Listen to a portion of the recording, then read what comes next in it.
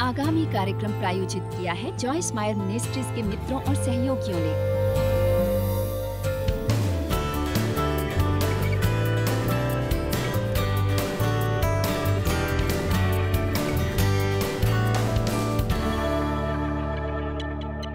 पहली चीज़ों में से है जिसके बारे में मुझे परमेश्वर का अपने साथ निपटना याद है। जब मैंने 35 वर्ष पहले उनके वचन का अध्ययन शुरू किया था, मेरे विचार से वे सभी के लिए महत्वपूर्ण हैं, पर ये विशेष रूप से उनके लिए महत्वपूर्ण है जिन्हें परमेश्वर सेवकाई में इस्तेमाल करने वाले हैं, क्योंकि हम सचमुच किसी भी काम में बहुत सफल नहीं हो सकते यदि हम उन्हें करते हैं बहुत से गुप्त, अलग इरादे से। हम लोगों से बातें छिपा सकते हैं, हम उन्हें अपने आप से भी छिपा सकते हैं, पर हम उन्हें परमेश्वर से नहीं छिपा सकते। क्या आपने मुझे सुना? और पवित्र आत्मा की सेवकाई के लिए परमेश्वर का धन्यवाद जो सत्य की ओर हमारा मार्गदर्शन करते हैं, पूर्ण सत्य की ओर। वे हमारा अपने बारे में सत्य की ओर मार्गदर्शन करते हैं और यदि हम उस सत्य का सामना करने को तैयार होते हैं और वे आकाशवाणी द्वारा नहीं बताते, बल्कि वचन के द्वारा, वे हमारा अपने बारे में सत्य की ओर मार्गदर्शन करते हैं और यदि हम उसका सामना करने को तैयार होते हैं, तब हम एक नए स्तर पर जा सकते हैं। परमेश्वर ने जब भी मुझे सेवकाई या आत्मिक जीवन में पदोन्नति दी, परमेश्वर को हमेशा मुझसे किसी चीज़ के बारे में निपटना पड़ा। मैं हमेशा कहती हूँ कि ऊपर उठने के लिए आपके शरीर को थोड़ा नीचे जाना पड़ता है। उसका कारण शायद ये था कि मेरे सचमुच बहुत से गलत इरादे थे या कुछ और, पर परमेश्वर आरंभ में ही मेरे साथ इरादों के बारे में निपटे। मुझे ये वचन याद है और मैं आपको ये बताने वाली हूँ कम से कम चौंतीस वर्ष पहले परमेश्वर ने मुझे ये वचन दिखाने आरंभ किए, ये रहे वो वचन वचन, ग्यारह क्योंकि उस नेव को छोड़ जो पड़ी है और वो यीशु है, कोई दूसरा नेव नहीं डाल सकता। पॉलिस ने, पॉलिस प्रेरित ने वचन दस में कहा था, परमेश्वर के उस अनुग्रह के अनुसार जो मुझे दिया गया और मैं तुम्हारे जीवन में नींव डालता गया और वो नींव थी यीशु मसीह में विश्वास की नींव, हमारा अनुग्रह द्वारा उद्धार होता है। हमें अनुग्रह से, हम अपने कार्यों से उसे कमा नहीं सकते और इस ज्ञान की नींव से कि हम मसीह में कौन हैं को हमारे जीवन में पहले स्थान पर होना चाहिए। उसके बाद वे कहते हैं, पर यदि कोई इस नींव पर सोना या चांदी या बहुमूल पत्थर का, गाठ या फूस का गद्दा रखे, सुनिए मुझे क्या कहना पसंद है? अब हमारे जीवन में यीशु मसीह की नींव है, कितनों का नया जन्म हुआ है? अच्छा फिर आपको जीवन में यीशु मसीह की नींव है। आप आज यहाँ इसलिए आए हैं कि आप एक जीवन बनाना चाहते हैं, आप बना रहे हैं, परमेश्वर एक पक्ष निर्माता है और वे हमारी मदद करते हैं एक जीवन का निर्माण करने में, पवित्र आत्मा के द्वारा। पर हम वो कैसे करते हैं? क्योंकि वो सामान और इरादे अति महत्वपूर्ण होते हैं जिनसे हम उसका निर्माण करते हैं। वे कहते हैं कि हम बना सकते हैं सोने के साथ, चांदी के साथ, लकड़ी की और काट और फूस के साथ। आप कैसा जीवन बना रहे हैं?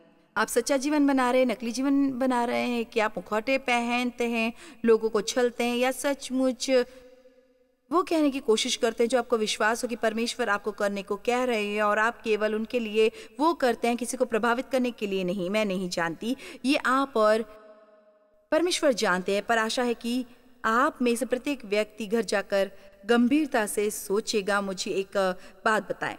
आप अपने जीवन में कितने काम कर रहे हैं जिन पर आप बिल्कुल अभिषेक नहीं अनुभव करते नहीं उनसे आपको जीवन मिलता है, परंतु आप वो करते हैं। आप ये भी नहीं जानते कि आप क्यों उन्हें करते हैं। आप इसलिए करते हैं क्योंकि आपकी पहचान का हर व्यक्ति वो करता है और आप नहीं चाहते कि आप अकेले हो जो वो नहीं करता। आप लोगों को प्रसन्न करने के लिए कितने कार्य करते हैं, परंतु अपने दिल की गहराई में उनके बारे में अच्छा अनुभव नहीं करते। मैं स्वयं ये भी यही सवाल करती हूँ, ये केवल आपके लिए नहीं है। आप कितने काम करते हैं जो आपको पसंद नहीं है? मुझे सचमुच विश्वास है कि आज मैं आपको जो बता रही हूँ वो आपके लिए जीवन बदलने वाला होगा, यदि आप इसे समझ लेंगे। मैं ये गारंटी नहीं दूँगी कि इससे आप तुरंत बढ़िया अनुभव करने लगेंगे, पर मुझे विश्वास है कि ये सचमुच जीवन बदलने वाला होगा। हमें परमेश्वर को जवाब दे होकर जीना सीखना है, केवल परमेश्वर को, क्योंकि जब हमारा यहाँ समय समाप्त होगा और वो हमारी आशा से कहीं पहले होगा, ये महत्वपूर्ण नहीं कि आप सौ वर्षों तक जीते हैं। वो अनंत के सागर में एक बूंद के जैसा होगा और हमें परमेश्वर को प्रसन्न करने के लिए जीना चाहिए। यदि हमें किसी को प्रभावित करना है तो वे परमेश्वर होनी चाहिए। हम जो भी करें, हमें उसे परमेश्वर के लिए करना, सीखना चाहिए किसी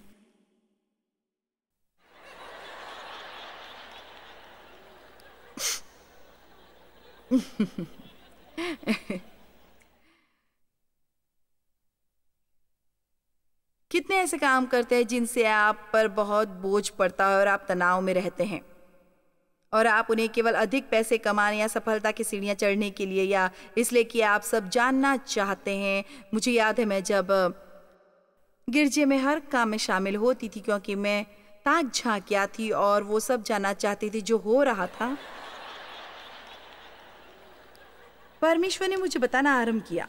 तुम्हें जाने की ज़रूरत नहीं है। तुम अपने को थका रही हो। रोज़ रोज़ कमेटी के लिए जाना ज़रूरी नहीं है। इसमें शामिल होकर, उसमें शामिल होकर सब निरर्थक बातें सुनकर तुम्हें वो सब जानने की ज़रूरत नहीं है।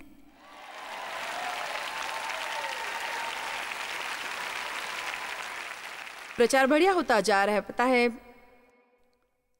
जब देव और मैं उस संप्रदाय के गिरजे में थे जहाँ हम थे, मैं चाहती थी कि उन्हें वरिष्ठ पदवी मिले। मुझे अब याद नहीं कि वो कैसा चाहते थे, पर मैंने चाहा था, क्योंकि देव ऐसे थे कि वो कभी कुछ नहीं चाहते थे और सही लोगों से मेल जोल बढ़ाने लगी मैं और सही दलों में शामिल होने लगी गिरजे में वरिष्ठ पदवी पाने के लिए, देव के लिए। मैं वो सब जानना चाहती थी जो हो रहा था, ताक झाँक करने लगी। हम परमेश्वर की सेवा करने में चाहे कितना भी समय लगाते। हम परमेश्वर की इस तरह सेवा करने में जितना भी समय लगाते, वो व्यर्थ होता था। हमें उसके लिए कोई प्रतिफल नहीं मिलता था। हम्म। अच्छा। हम दूसरों के लिए कितने काम करते हैं, उन्हें अपना कर्जदार बनाने के लिए?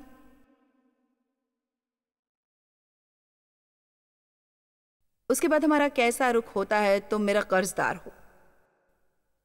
क्योंकि मैंने तुम्हें ये किया था, अब तुम्हें मेरे लिए कुछ करना होगा। या हमें अनुकूल पक्ष की ओर देखना चाहिए, जैसा मेरे विचार से हम करेंगे। आप कितने काम केवल परमेश्वर के प्रेम के लिए करते हैं।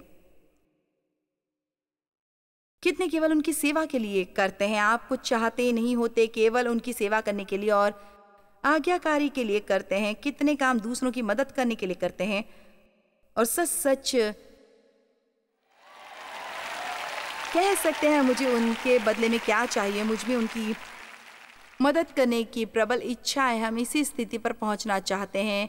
ये वो बदलाव है जो हम चाहते हैं। हम अपने उद्देश्य में बदलाव चाहते हैं। सच कहती हूँ, मैं अक्सर देखती हूँ कि मेरे इरादे गलत हैं और मैं उन्हें बदल देती हूँ। मैं अपना इरादा बदल देती हूँ किसी चीज़ में शामिल होने से पहले, क्योंकि मैं अपना जीवन बिल्कुल बर्बाद नहीं करूँगी ऐसे काम करके जो व्यर्थ हो और जिनमें समय और कोशिश व्यर्थ होते हो, मैं वो करना चाहती हूँ जिससे मेरे जीवन में अच्छा हल उत्पन्न हो और कुछ नहीं अच्छा होता है। कुछ काम इसके लिए करना, क्योंकि वो करना सही होता है। उसके लिए आपकी इच्छा होना या महसूस करना ज़रूरी नहीं है। मुझे विश्वास है कि परमेश्वर को अच्छा लगता है जब हम इसलिए कुछ करते हैं कि वो सही होता है, वो करना सही होता है, किसी के साथ जाकर शांति बहाल करना अच्छा होता है। यदि आपकी उनके साथ अनबन हो, सही होता है वो इंसान हो, ना जो पहल करता है। उस परिस्थिति में शांति बहाल करने के लिए क्षमा करना सही होता है। हमारा वैसा अनुभव करना ज़रूरी नहीं होता। यदि मैं आपको 20 बार क्षमा करूँ तो आप मेरे कर्जदार नहीं बनते। मैं इसलिए वो करती हूँ क्योंकि परमेश्वर ने मुझे वो करने को कहा होता है और क्योंकि वो सही होता है और इसलिए कि वो मुझसे होशियार है और मैं उनके तरीके से काम करना चाहती हूँ क्योंकि मैंने अपने तरीके से काम करके बहुत समय बर्बाद किया है। आमीन। हम बहुत से काम करते हैं जो हमें केवल इसलिए करनी चाहिए क्योंकि वे परमेश्वर के प्रति हमारा दायित्व है।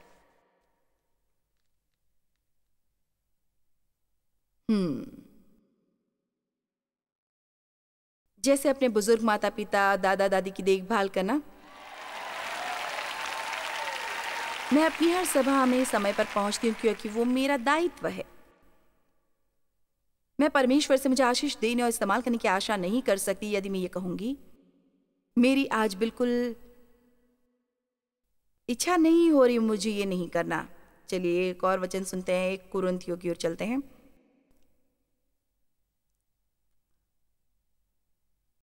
वचन तेरा तो हर एक काम स्पष्ट और सामने प्रकट हो जाएगा। वैसा दिखेगा जैसा वो है, क्योंकि वो मसीह का दिन उसे बताएगा। इसलिए कि आग के साथ प्रकट होगा और आग हर एक का काम परखेगी कि कैसा है।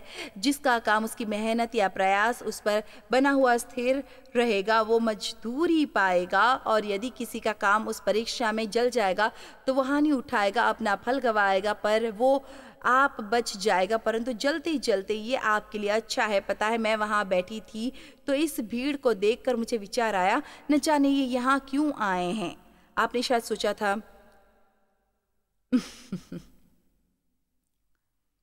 भाई, मेरे जीवन में सच सचमुच बहुत समस्याएँ हैं, ये मेरी कैसे मदद करेगा? ओह, नन्हे मसीहों, आप नहीं जानते। यह आपकी कितनी मदद करेगा यदि आप अपने उद्देश्यों को सही बना सके, यदि इस सबसे मुक्ति पा सके? मैं तुम्हें प्रभावित करना चाहती हूँ, मुझे उसकी परवाह है। जो तुम मेरे बारे में सोचते हो, मैं इसलिए कर रही हूँ। यदि आप ऐसी स्थिति में पहुँचे जहाँ आप कह सके, यदि वो आप नहीं है, यदि आप उसमें नहीं है, मैं भी ये नहीं है मैं आइंदा अपने जीवन में बेजान अभिषेकित मृत कार्यों में शामिल नहीं होना चाहता। मैं जो भी करना चाहता हूँ, मैं सब एक बहाव, आराम, शक्ति और परमेश्वर की अपने जीवन के लिए स्वीकृति की मुस्कान के साथ करना चाहता हूँ और हम जितना जल्दी ये सीखेंगे, उतना जल्दी पवित्र आत्मा के साथ अपना दिल पवित्र करने के लिए काम कर सकेंगे। और उतनी शक्तिशाली, उतने ही सफल मनुष्य बन सकेंगे। आप नहीं जानते, बिल्कुल नहीं। अभी वो देखना बाकी है जो परमेश्वर किसी मनुष्य के द्वारा कर सकते हैं, जो अपने दिलों को पवित्र होने देते हैं और अपने हर कार्य के लिए परमेश्वर को श्रेय देते हैं। हम हमेशा सफलता के उपाय ढूंढते रहते हैं। मेरे विचार से ये शायद सबसे महत्वपूर्ण है, क्योंकि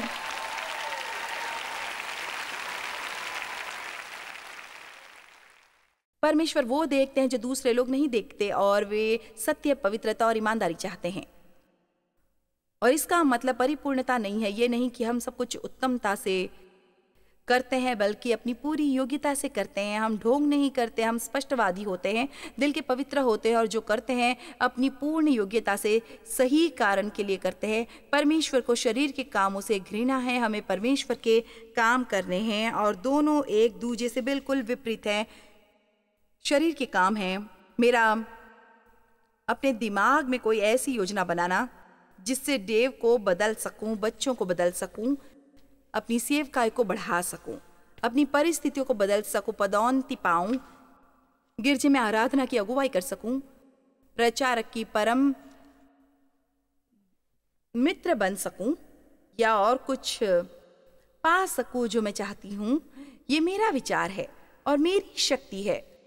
जो वो कहने की कोशिश कर रही है, जो केवल, परमेश्वर कर सकते हैं। कितने मेरे साथ सहमत हैं और उस पर कोई अभिषेक नहीं होता। इसलिए हमारे हाथ लगती है असफलता निराशा और हताशा, इसके अलावा कुछ नहीं। मैं जानती हूँ क्योंकि मैं वर्षों तक यही करती रही थी और वर्षों तक हताश होती रही थी। यदि मैं ऐसे करूँगी, मेरी सेवकाई बढ़ जाएगी। यदि मैं वैसा करूँगी, मेरी सेवकाई बढ़ जाएगी। और यदि मैं ये करूँगी, मुझे व्याख्यान के लिए अधिक बुलाया जाएगा। यदि मैं वो करूँगी, शायद अधिक द्वार खुल जाएँगे। यदि मैं ऐसा करूँगी, मैं सही लोगों से मिल पाऊँगी। यदि मैं आपके साथ अच्छी बनूँगी तो आप मुझे न्योता देंगे और मैं सही लोगों से मिल पाऊँगी और मेरा सही लोगों से संपर्क होगा। देखिए, मैंने ये एक दिन में नहीं सीखा। मैं आप पर 35 वर्ष का ज्ञान डाउनलोड कर रही हूँ। इसे स्वीकार करें। उद्देश्य पर यह माँ का उबड़ता हुआ ज्ञान है।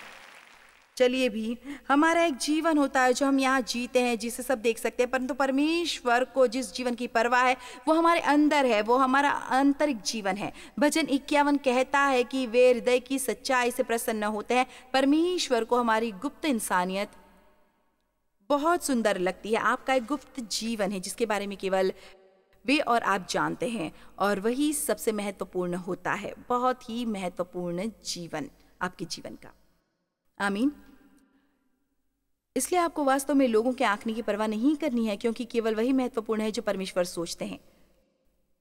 अब, हम उद्देश्य की ओर लौटते हैं कि हम कैसे अपना फल, गवाते हैं, और एक मिनट के लिए आपको एक उदाहरण दूँगी, शरीर के काम। वो है जो हमें सूझते हैं, और हम ये सोचकर वो करते हैं कि उनसे लोगों का ध्यान हमारी ओर जाएगा, पर परमेश्वर के काम, वो काम करने होते हैं उस सरल और पवित्र तरीके से जैसे वे कहते हैं, और आपको इसकी परवाह नहीं होती कि आपको कुछ मिलता है यानी आप जानते होते हैं कि परमेश्वर आपकी सहायता करेंगे। पता है, परमेश्वर मुझे व्यवहारिक बातों द्वारा सिखाते हैं, इसलिए मुझे आपको वैसे ही सिखाना होगा। मैं बहुत विशिष्ट नहीं हूँ, पर मेरे विचार से आप समझ जाएँगे। वर्षों पहले परमेश्वर मुझे उद्देश्यों के बारे में सिखा रहे थे और मैं पार्लर में बैठकर मैनिक्योर करवा रही थी। मैं क्रिलिक नाखून लगवाती हूँ और उन्हें लगाने में थोड़ा समय लगता है। मैं 25 वर्षों से वही करवा रही हूँ। बहुत लोगों की तरह, वाह, आपके नाखून सुंदर है हाँ वे हैं, वो मेरे नहीं हैं, पर वे सुंदर हैं और इसलिए मैं वो अस्सी का दशक था और उन दिनों बड़े पत्थरों, जड़े यीशु दिन बहुत लोकप्रिय थे। उस पर बड़े अक्षरों में लिखा था और वो लगभग इतना होता था और वे बहुत सुंदर और चमकीले थे और हम विज्ञापन करना चाहते थे। नहीं गवाही मैंने, शुद्ध हृदय से वो पहना था। मैं यीशु के लिए गवाही देना चाहती थी। सो, एक दिन मैं पार्लर में मैंने क्यों करवा रही थी और वहाँ एक अन्य महिला थी जो मैनिक्योर करवाने के लिए प्रतीक्षा कर रही थी। वो बहुत छोटी दुकान थी और इसलिए वो जानती थी कि मैं बाइबल की शिक्षिका हूँ हम बातें करने लगे। वो एक मसीह थी, वो एक कैंसर वार्ड में नर्स थी। उसने कहा, काश मैं लोगों के साथ प्रार्थना कर सकती और उन्हें यीशु के बारे में बता सकती, पर ऐसा करने पर हम नौकरी गंवा सकते हैं। इसलिए मुझे महसूस हुआ कि पवित्र आत्मा ने मेरे दिल में कहा कि मुझे उसे यीशु दिन देना था और कहना था कि यदि वो उसे अपनी यूनिफॉर्म पर पहनेगी और जब अपने मरीजों पर झुकेगी उनकी सेवाओं के लिए, वे उस नाम को देखेंगे और यीशु के नाम में ही उनकी मदद करने की शक्ति थी। इसके अलावा मुझे अनुभव हुआ कि वो एक अभिषेकित विचार था, इसलिए मैंने उसे वो बताने के बारे में सोचा। तब पवित्र आत्मा ने मुझे स्पर्श करके एकांत में ये करने को कहा। मैंने सोचा, मैं ये एकांत में कैसे कर सकती हूँ? यहाँ एक और लड़की है। इसलिए उसने तुरंत बाद ही मेरा मैनिक्योर कर रही थी। लड़की ने कहा जो एस मैं एक मिनट के लिए बगल वाली दुकान में जा रही हूँ। वहाँ पर सौंदर्य के प्रसाधन मिलते हैं और मुझे एक चीज़ लानी है। यहाँ एक चीज़ समाप्त हो गई है। तो वो बाहर चली गई। मैं तुरंत अपने दिल की गहराई में ये जान गई कि परमेश्वर मुझे मौका दे रहे थे एकांत में उसे और स्वयं को यह ध्यान न पाने का, उसके लिए ये करने का मुझे बताते हुए घृणा हो रही है और अफसोस हो रहा है कि मैं उसके बारे में सोचती रही, बहुत देर सोचती रही। अब सोचने पर मुझे समझ आता है कि मेरा शरीर थोड़ा श्रेय पाने का मौका ढूंढ रहा था। अंत में मैंने ये सोचा कि मेरे विचार से उसके लिए अच्छा उदाहरण होगा। यदि वो मुझे उदार बनते देखे कि सो मैंने ऐसा किया कि उसके लौटने की प्रतीक्षा की, फिर अपना ईश्वर दिन उतारा। परमेश्वर ने मेरे दिल में बात की और मुझे तुम्हें ये देने को कहा हो आप, कितनी अच्छी है। सबने कहा कि मैं अच्छी हूँ और मैं बहुत बढ़िया अनुभव कर रही थी। मेरा मैनिक्योर हो गया और मैं वहाँ से निकली तो पवित्र आत्मा ने मुझे कहा आशा है तुम्हें खुशी हुई होगी, क्योंकि तुम्हें और कुछ नहीं मिलेगा। हम बहुत सी चीज़ों से वंचित रह जाते हैं जो परमेश्वर हमें देना चाहते हैं, क्योंकि हम थोड़ा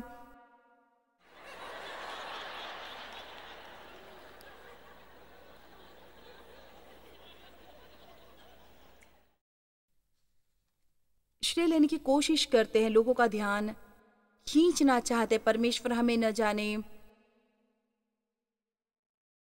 कैसे आशीष देते यदि हम उन पर इतना विश्वास करते कि अपने ओट सी लेते? और ये देखने की प्रतीक्षा करते कि परमेश्वर क्या करते हैं, मत्ती छे की ओर चलते हैं। मुझे वो पढ़ना बहुत प्यारा है। मत्ती छे सावधान रहो, तुम मनुष्यों को दिखावे के लिए अपने धर्म के काम न करो। ये रहा उद्देश्य, मनुष्य के दिखावे के लिए। इसका यह मतलब नहीं कि कोई भी कभी आपको भले काम करते देख नहीं सकता, अपने हर काम लोगों से छिपाना संभव नहीं होता, पर उद्देश्य अहम होता है। उन्हें इसलिए ना करो कि लोग आपको देखे कभी ध्यान दिया है कि यीशु बहुत से काम करने के बाद चुपचाप कहीं से निकल जाते थे। और साथ ही वे अक्सर कहते थे, इसके बारे में किसी से मत कहना, इसका क्या कारण था? वे लोगों का ध्यान नहीं चाहते थे, वे उसके लिए ये नहीं कर रहे थे, वे उन्हें पवित्र ही रखना चाहते थे।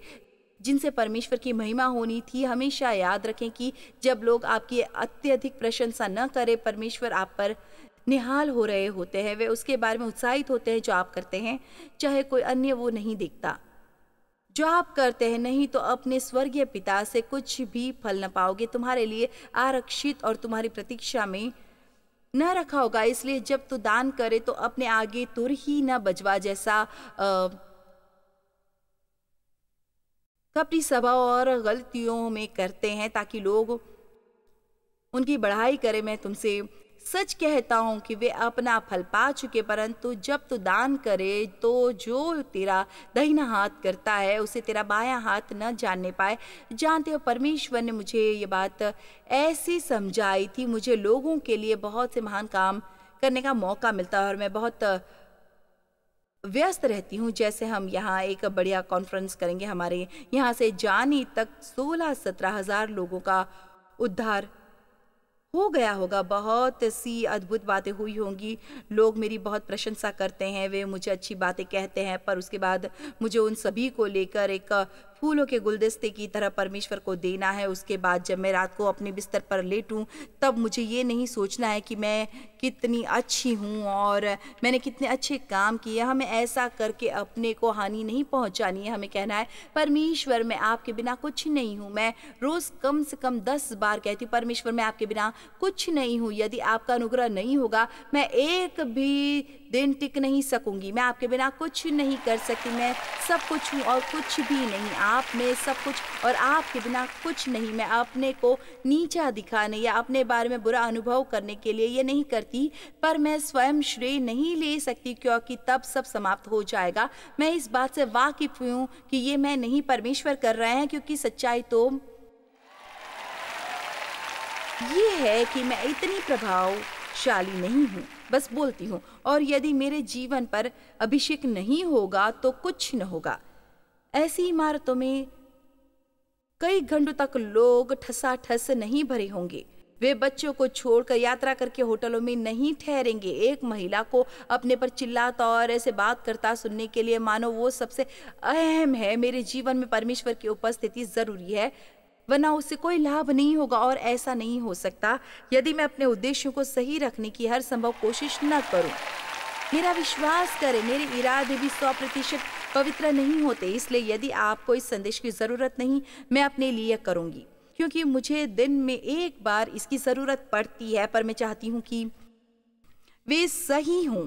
और मैं गलत कारणों के लिए कुछ करना नहीं चाहती। मैं परमेश्वर की आज्ञाकारी करना चाहती हूँ और मैं दिनों दिन सुधर रही हूँ। मैं आज कुछ लोगों की आँखें खोलना और उन्हें जगाना चाहती हूँ। यदि आपने कभी इसकी ओर ध्यान नहीं दिया है या किसी ने शायद आपके सामने ऐसा प्रचार नहीं किया है, हमें ये सुनने की ज़रूरत है। परमेश्वर हमारे कामों से प्रभावित नहीं होते, हमारे इरादे उनके लिए अहम है। हमें बाइबल में वो कहानी पढ़नी है, जिसका नाम है विधवा की दमड़ी। उसने दो दमड़ियाँ दी थी जो एक बहुत छोटी रकम थी, मैं नहीं जानती वो कितने पैसों के बराबर थी, पर वो एक बहुत बहुत बहुत छोटी रकम थी। वहाँ बहुत लोग आकर भंडार में पैसे डालकर लौट रहे थे। बाइबल में लिखा है कि यीशु भंडार की बगल में खड़े होकर लोगों को पैसा डालते हुए देख रहे थे। वो ये नहीं देख रहे थे कि लोग कितने पैसे डाल रहे हैं मन की उनके दिल का रुख देख रहे थे। वे उनके रुखों को देख रहे थे। उस महिला ने शायद बाकी सबसे कम दिया था।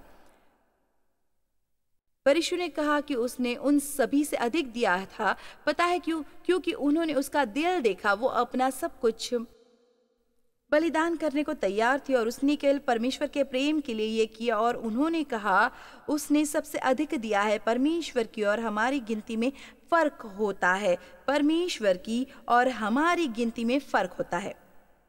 आमीन। आशा है आज की शिक्षा आपको परमेश्वर से ये प्रार्थना करने को प्रोत्साहित करेगी कि वे हर काम में आपके सच्चे इरादों को प्रकट करें। याद रखें कि परमेश्वर को हमारे कामों की उतनी परवाह नहीं जितनी हमारे इरादों की होती है। वे चाहते हैं कि हमारे मकसद पवित्र हों। इससे न केवल उन्हें, बल्कि हमारे जीवनों को भी सचमुच आशीष मिलती है। बहुत ही बढ़िया आशीष। और रोज़मर्रा जीवन का आनंद लेने में मदद करने दें। जॉयस मायर मिनिस्ट्रीज में आप हमारे लिए बहुत ही कीमती हैं, जितना कि आप जानते हैं। हम आपकी सराहना करते हैं और इस सेविकाई को दुनिया भर में संभव बनाने के लिए हम अपने दोस्तों और सहभागियों को धन्यवाद देते हैं। हम साथ मिलकर भूखों को खाना खिलाते हैं, गरीबों को कपड़े देते हैं और कई देशों में सुसमाचार बांटते हैं। अपना प्रार्थना निवेदन भेजने के लिए कृपया आज ही संपर्क कीजिए। हमारे स्रोतों के बारे में और भी जानिए। जॉयस की सभाओं की सूची देखिए, हमारे साथ सहभागी बनने के लिए, क्योंकि हम दुनिया भर में मसीह के प्रेम को बांटते हैं।